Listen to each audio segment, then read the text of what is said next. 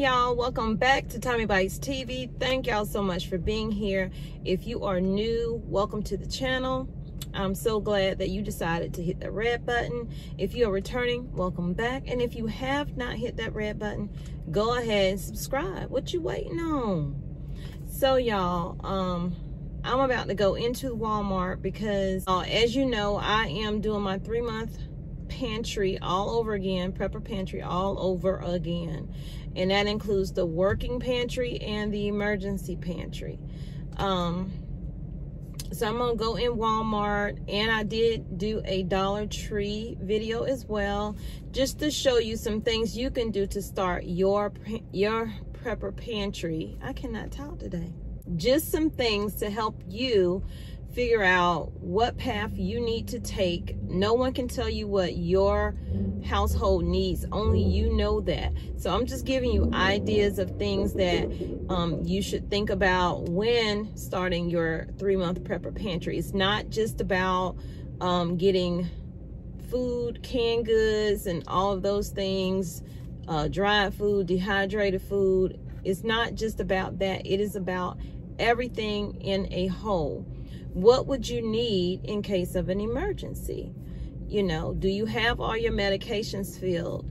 Um, I try personally to always have extra medication. Um, I just get it filled. If the insurance will do it, I will get it. And so that way I have that stash in case of situations like um, the pharmacies not being open and you're not being able to access your uh, medicines that you need life-saving medicines y'all.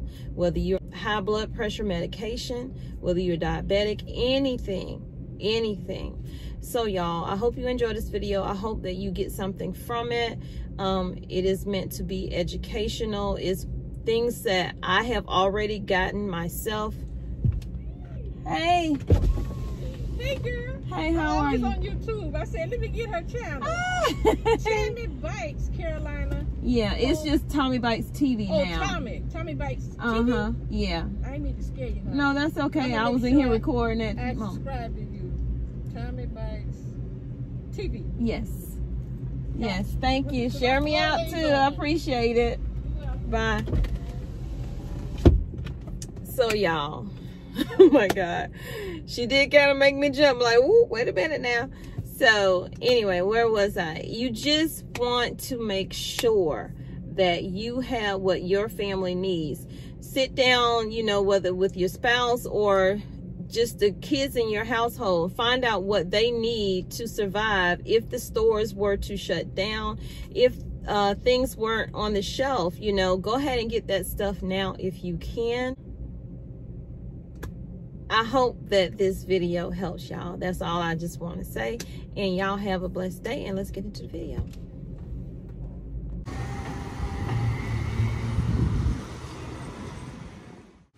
So when I got into Walmart, I wasn't planning on recording the pharmacy, but I noticed that they were closed and it was very early, not early like morning, but afternoon.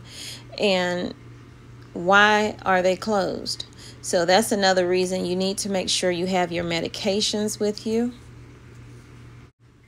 So having enough on stock is what you need to do because you never know when you, you know, an emergency might break out. And also try to get your vitamins, anything that you might need to store in your emergency prepper room or your um, go bag. Another thing you might want to get is some vitamin C. Your health is one of the most important things that you have that will get you through any kind of emergency. Now, let's talk about something that's really important, not just for females, but having a great supply of feminine napkins, tampons. Those are needed, whether you're bartering them or whether you have a wound that needs to be addressed, you can use those things. You also want to keep on hand something in case you injure your ankle, your wrist, or anything that needs to be bandaged up. You want to take care of those things. Also, get you some um, cough medicine, flu medicine, anything that you would need in case the stores are closed or the things are not on the shelf that you need. Right now is about to be allergy season, so you want to make sure you have ample supply of that in your emergency prepper pantry. Pedialyte is a great source of electrolytes, so that's another good thing to have on hand in case you have the flu or you're just sick and you need to replenish yourself or you have cramps. They're good for cramps as well. And this is gripe water. This is for your babies, you know, when they have an upset stomach, you want to give them something. But us old folk, you know, we give them baking soda and water. So let's talk about antacids please keep those in case you eat something that does not agree with you or you have heartburn or anything, something to coat your chest or your stomach. I keep some in my car. I keep some in my prepper room. I keep some in my bedroom because you never know when you might need something.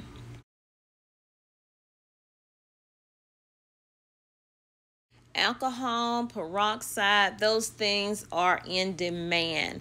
They had the shelves full like a month ago. Now you can't find alcohol, but make sure if you can, grab it while you can. I'm pretty stocked on mine, but when I see it, I try to grab it because you can use those for so many different things.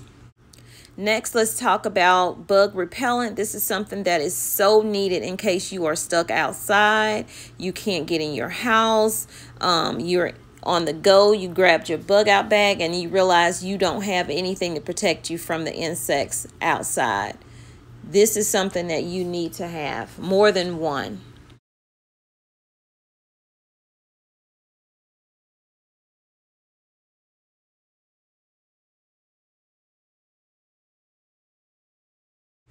I do recommend this one right here. We use it when we go fishing and it really does work. And it doesn't smell that great, but it does keep the bugs, the mosquitoes from biting you.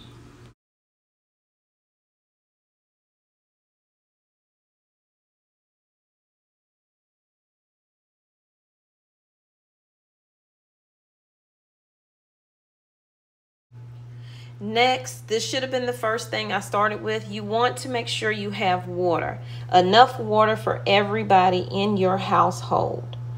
Make sure you keep water in different locations and also never store your water on concrete floors. Also ask yourself, do you have something to drink your water out of? What if you run out of water? Do you have something that can filter the water for you so you know that it's safe for you and your family to drink or even bathe in? Here are some bags that you can just wrap around your waist. I call them fanny packs.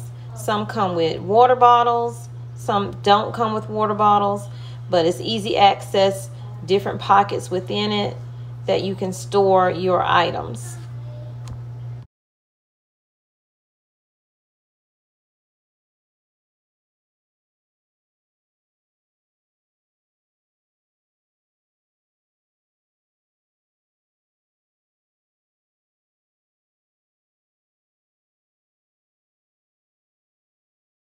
Here's another way you can store your water. It's a two liter reservoir bag. I call it um, like a catheter bag because that's what it looks like when I worked at the hospital. And then this little piece here is the shut off valve. And then how you get the water in is you twist off the blue cap and put your water in that way. And you have the tubing, the water will flow through. Here's a different little bag that you can carry your water and whatever um, items you need to have on you, your EDCs.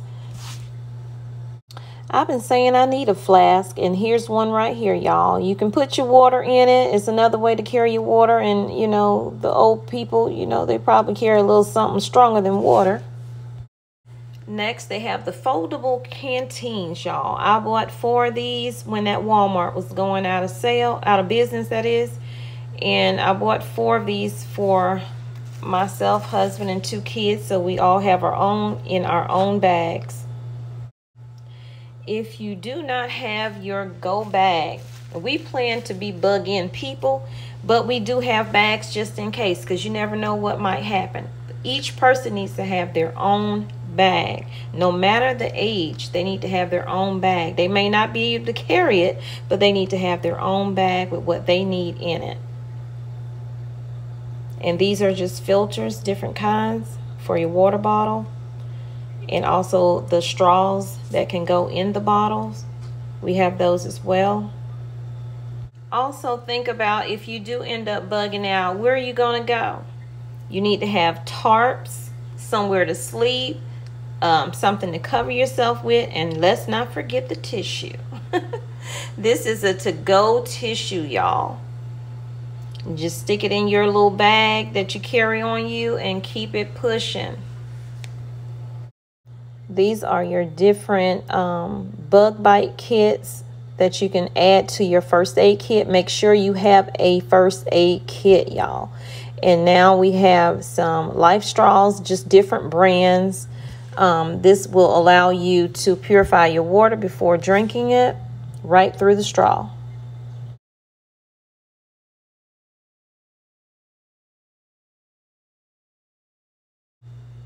So if you already bugged out and you've left your house, you might want to get you a folding shovel. You might want to have that in your um, backpack.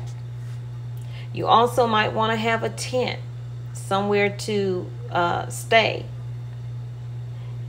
And last but not least, you want to have a portable toilet. This toilet, it has legs on the back that fold out and you could just dig a hole, put that over the hole and use the bathroom. You have to do what you have to do. And I put that tissue there because, hey, they go together.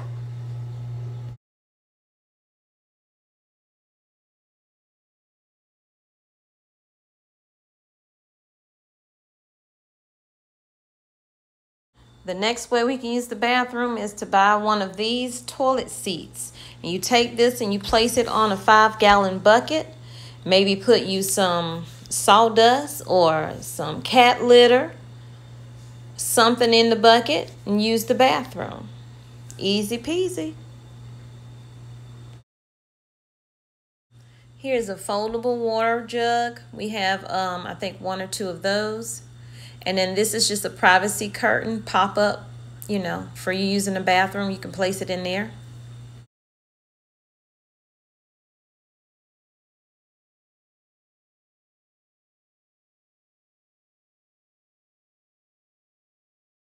So let's talk about food. You can carry those canned goods you have and struggle, or you can grab you some of these dehydrated meals right here.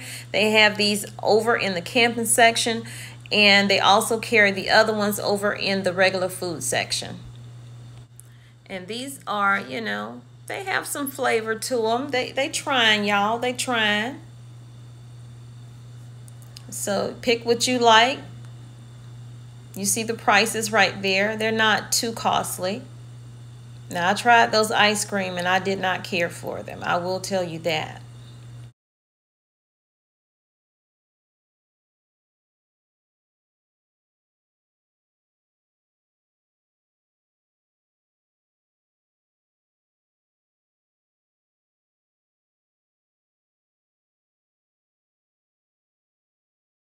These are some pop-up cups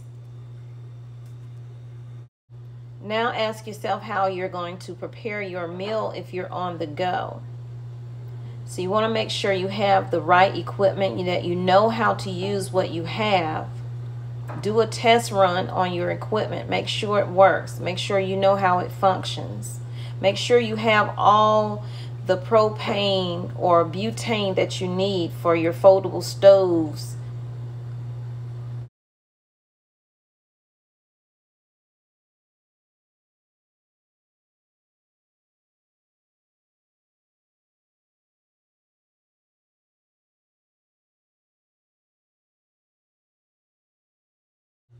Here's a portable grill that you can just take with you because you don't want to lug something big with you. You want to be able to cook on the go, right? So this would work out just fine. It's a four-in-one.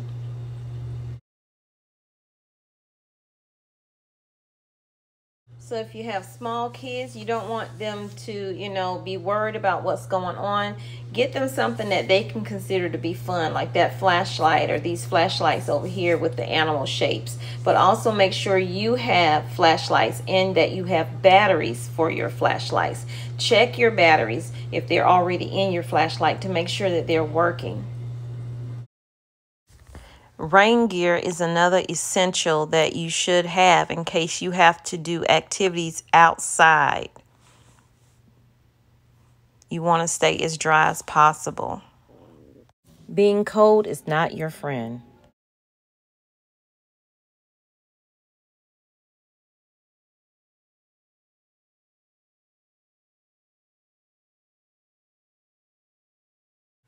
Also having a tarp in your backpack is very important. Having different ways to prepare your food is a must. We cannot just depend on our canned jars or our frozen meats. We have to look at other options. And you can find these dehydrators over in the camping section.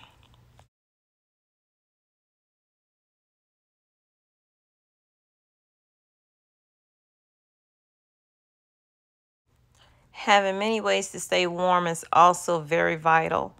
Depending on the weather that you're in, having some long johns or something that you can wear under your clothing.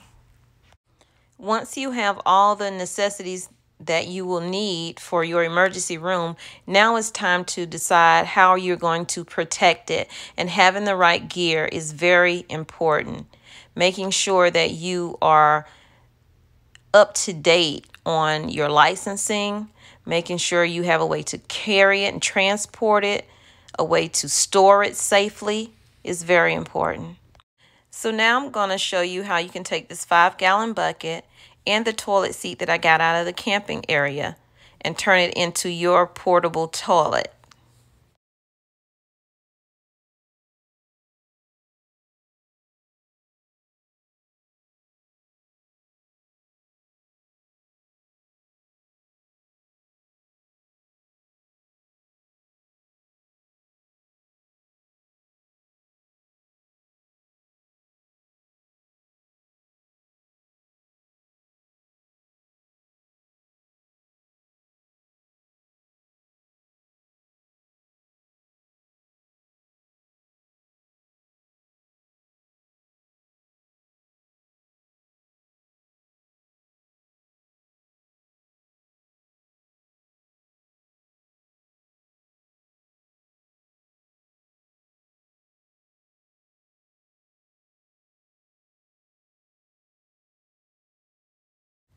Here's another form of emergency food. This is the 72 hour emergency food supply by ReadyWise.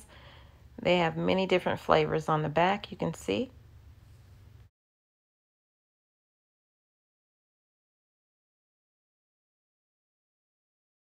So this video is intended to show you what you can use to start your prepper pantry or emergency pantry. In no way, shape, or form am I telling you this is what you need to go out and get, but just some ideas and tips. So I hope you enjoyed it and got something from it. Please like the video, comment down below, and let me know some ideas of things that you are doing to prepare.